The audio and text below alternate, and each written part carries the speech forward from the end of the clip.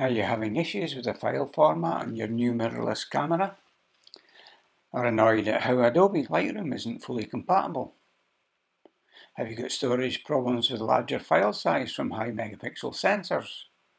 Or maybe you're feeling limited by proprietary formats like DNG and PSD. And then there's all those expensive card readers. Rumour has it I've got a process that might just work for you. Let's look into that. Hi, I'm Tom and welcome to the channel. Before moving on to storage and backup, we'll talk about the problem many see with a new camera, and that is the problem of reading and translating the file structure correctly. Programs like Adobe can be very slow to adopt new file formats like CR3, and even when they do, it's a compromise. Because they have to back engineer the file system, this means they don't fully translate data held in the CR3 file, and this can lead to issues in resolving the colour, focus, noise and sharpness in the original file structure. Now most of these issues can be got around using the power of Adobe software, especially when you include third-party solutions for camera matching profiles, like Colour Fidelity or Will Godlets at an additional expense. But you also need the latest version of Adobe software for the latest file compatibility. And this ties you into a subscription. So even if you own an older copy like CS6, you aren't going to get the updates, and you won't be able to read the latest file systems like CR3. Well, there is a free way to resolve these issues and ensure you have the latest Canon algorithms for translation that result in the best image quality to start your edits with, no matter which editor or how old your software is. Canon make their own editor available as a free download to owners of cameras which take raw images. This software is called DPP4. Some people never hear of it, and others avoid it because it's seen as being clunky and difficult to use. But today I'm going to talk you through a simple automated process which will ensure you get the official Canon supported colour, sharpness, noise, lens correction and focus all baked into a 16-bit TIFF file which can be used in any editor. But first, just a note on importing images. There's no need for a special card reader that can cost hundreds of pounds.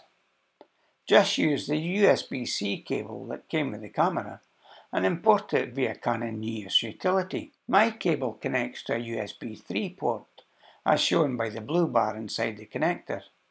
If you have a USB-C or Thunderbolt port on your computer, it might be worth getting a new cable to speed up your imports. I use the Canon EOS 3 utility to import my photos. This creates a good file system in the drive of your choice, and it has various settings which prevent duplicate downloads and which read in any in-camera ratings, which is also useful.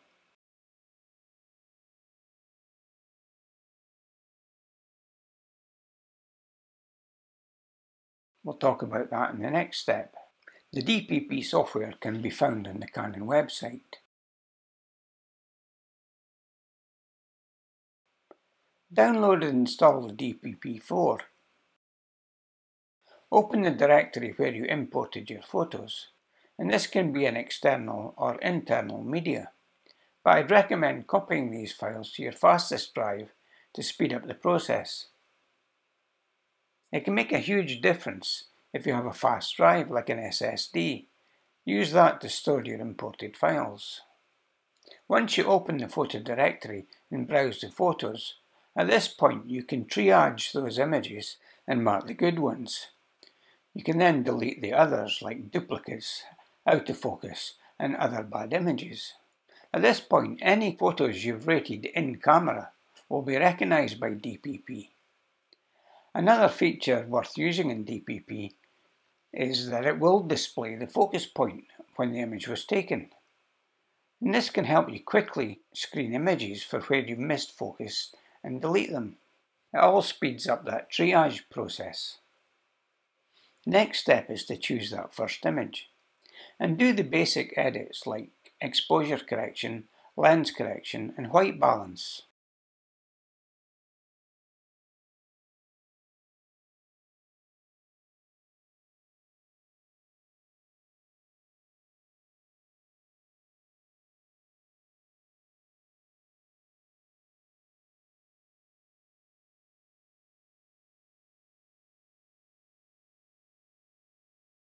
These are typically the edits you do to every image. If you're comfortable using DPP4, you can do more edits here like recover shadows and selective colour adjustments, all of which is better done in DPP, as Canon understand the camera sensor and the lens better than anyone. There are a number of useful YouTube videos on how to get the best out of DPP4, and I recommend you watch them if you plan on using it more. But assuming you would rather do your edits elsewhere, then just stick to the basics. Any edits you choose can be saved in a recipe and then applied to all other images. This is useful for the type of corrections you typically carry out on all images, i.e. ones that aren't image specific. When you have your recipe copied, or if you're using one you've previously saved, it's a simple matter to apply that to all other images.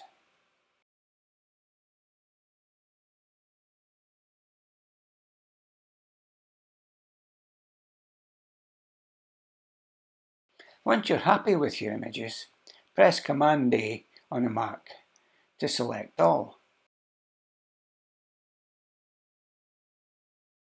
Then back at Menu, select Batch Process. This allows you to bake in all those official Canon corrections and create a 16-bit TIFF file for import into the editing software of your choice. In the settings you'll notice you can also set the photo editor you want to open the TIFF files with. Once all TIFF file images are created, the editor you choose will open the images and you can import the TIFF files. At this point, once you've checked the TIFF files have transferred correctly, you could delete the CR3 files and save space. The TIFF file carries all the data from the CR3 file. There's a benefit to creating your TIFF file here. Lightroom creates TIFF files for each time you transfer them to an external program like Photoshop or a third-party editor like Topaz Denoise.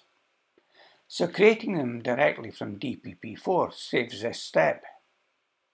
TIFF files created in DPP4 also retain all the official Canon data, and it includes the ability to layer images. However, if you find this process too cumbersome, and if you have an editor that can already open CR3 files, you could take a shortcut method of relying on this back engineered approximation of the data and use the editor's power to arrive at a photo of your liking. In this case, I would still recommend the use of a colour profile, like Will Godlets. I have no affiliation to Will, but I'm happy to recommend his product. The R5 and R6 profiles are noticeably different and better than the standard Adobe profiles. I've also tried the colour fidelity profiles, but I prefer Will's. I may cover installing and using these third-party profiles and setting them as default in a later video. Adobe changed the way they do this and it's not as straightforward as it used to be. So let me know if you'd be interested in seeing that in the comments below. And now for the storage and backup section I promised you.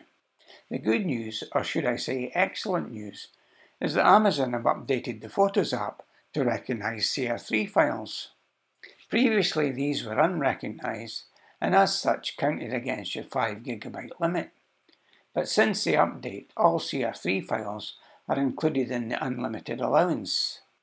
So make sure you have downloaded the latest version of Amazon Photos app installed. Then using this interface, go to the backup section and click Add Backup.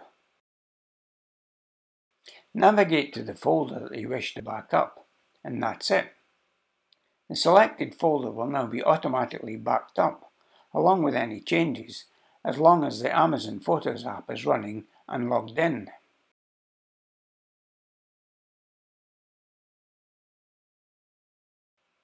I have another tip here. If you want to manage or download any files, it's best to do this via the online Amazon Drive interface which includes the photo browser. There are two ways to access this. And firstly, if you Google Amazon Drive login, it takes you to this page. And this will open the browser interface to access all your files and photos, as both are linked in the same cloud data.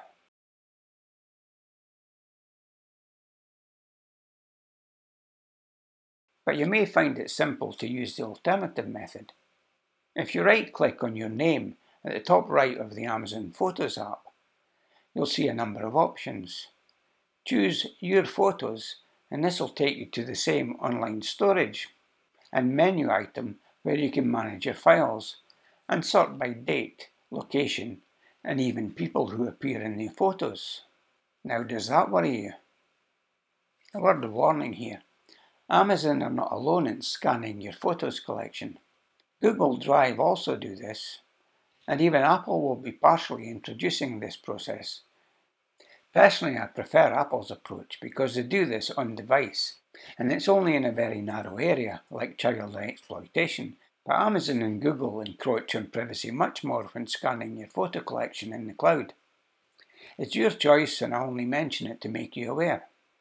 Now, if you made it this far, this next video is what Google is suggesting you like to watch, and this is another option you may want to watch. And I'll see you in the next video.